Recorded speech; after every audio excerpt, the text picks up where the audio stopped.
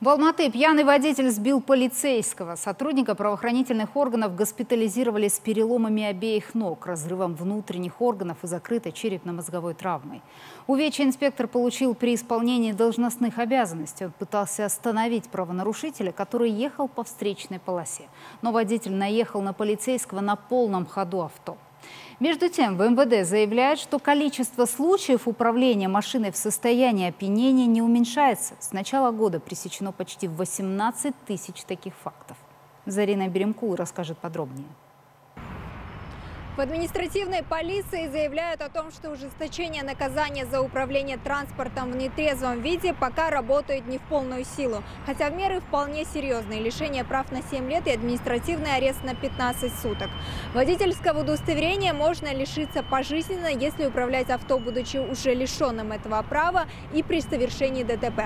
Правоохранители просят обратить внимание, что уже сейчас навсегда лишились прав около 2700 водителей. Среди самых частых нарушений ПДД также превышение скорости движения, нарушение требования знаков и разметки. Кроме того, за отчетный период выявлено более 5000 фактов выезда на встречную полосу движения.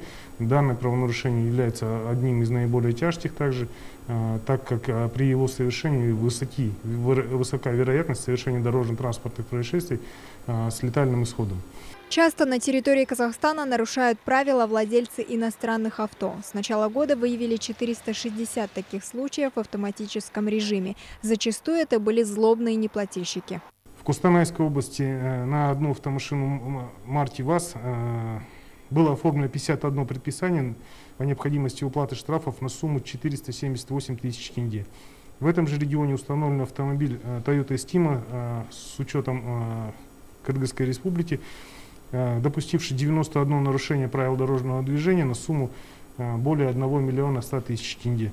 Водители по-прежнему продолжают завозить в страну авто, имеющие судебные обременения. Например, в августе полицейские выявили машину, имеющую 100 действующих ограничений на регистрацию. А в сентябре нашли авто, у которого 20 судебных обременений. За три месяца обнаружили 250 таких проблемных авто.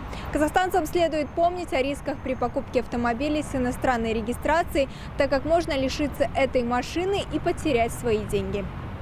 Зарина Беремкул, Дидар Информбюро, Нур-Султан.